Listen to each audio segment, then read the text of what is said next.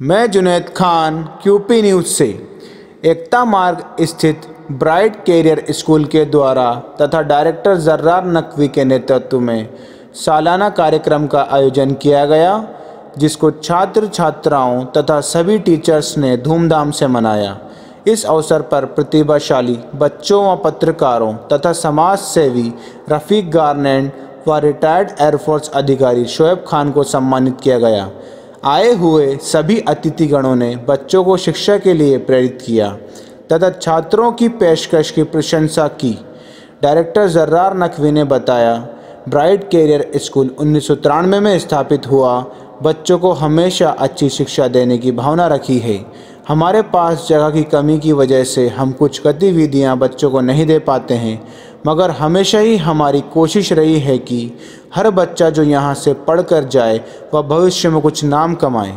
इस मौके पर प्रतिभाशाली बच्चों सहित डीपी के न्यूज़ रिपोर्टर डॉक्टर इस्माइल काफिला परिवार के वरिष्ठ पत्रकार नईम कुरैशी, पत्रकार अब्दुल रज्जाक थोई, पत्रकार unit today bureau chief Mohammad Naeem को मोमेंटो देकर सम्मानित किया गया। धन्यवाद।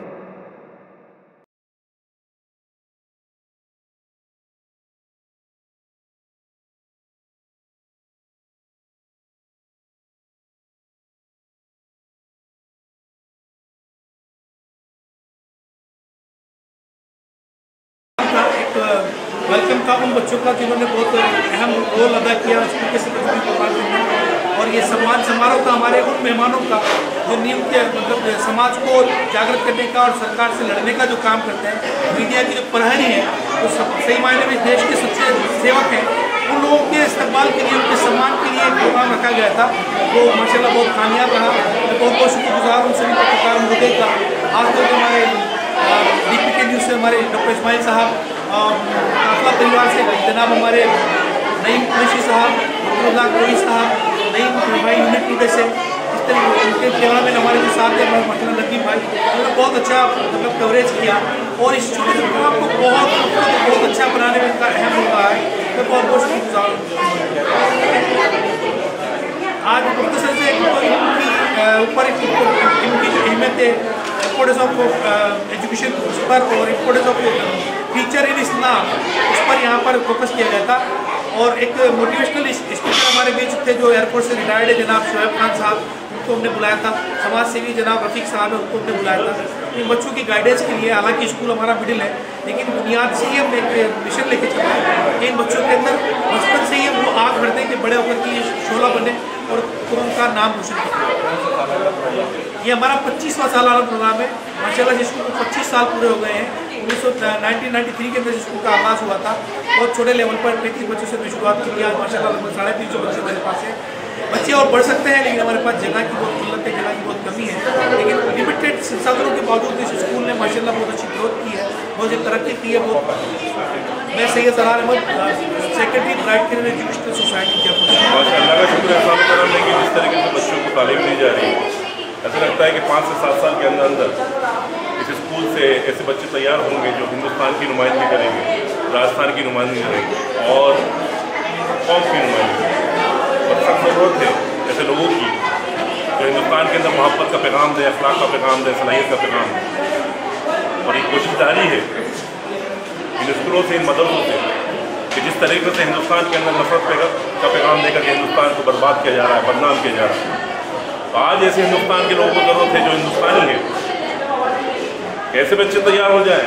कि इन नफरत करने पैदा करने वालों को हिंदुस्तान से बाहर फेंक दिया जाए और हिंदुस्तान के अंदर वही मोहब्बत, अखलाक और सलाहियत का पैगाम जाए, जैसा कि हिंदुस्तान है। हिंदुस्तान मजहबों का संगम है, हिंदुस्तान धर्मों का समागम है। यहाँ पे हर मज़हब का एहतराम किया जाता है। लिहाजा ये आगाज़ हो रहा है क्या मोहब्बत का पैगाम दिया जाएगा और हिंदुस्तान के अंदर जो नफरत पैदा करने वाले हैं, उनको भस्म किया जाएगा। अल्लाह फतेह दे मैं इंडियन एयरफोर्स से रिटायर्ड मोहम्मद शुएब खान।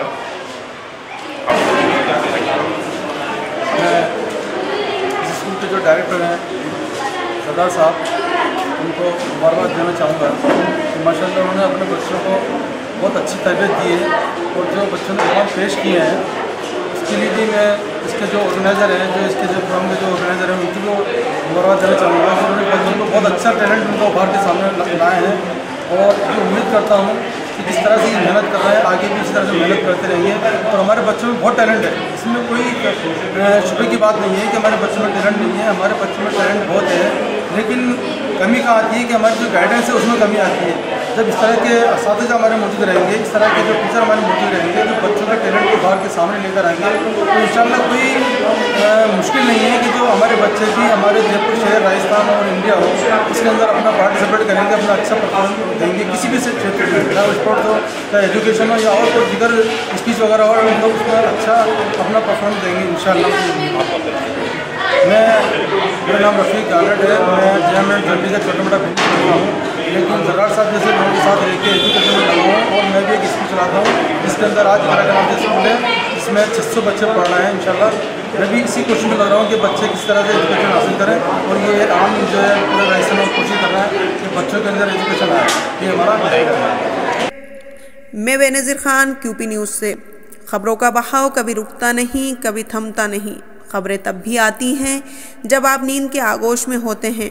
करें दिन की शुरुआत हमारे क्यूपी न्यूज़ चैनल के साथ, जिसमें आपको मिलेगी देश, दुनिया, खेल, कारोबार और मनोरंजन जगत से जुड़ी हर एक छोटी बड़ी हलचल। सबसे पहले, सबसे तेज़ आपके इनबॉक्स में हम रोज़ाना भेजेंगे सभी ज़रूरी खबरें। हमारे चैनल को सब्सक्राइब करें और अपने फेसबुक व्हाट्सअप इंस्टाग्राम लिंकडन सहित सोशल मीडिया पेज पर शेयर करें और अपने दोस्तों को बताएँ। धन्यवाद।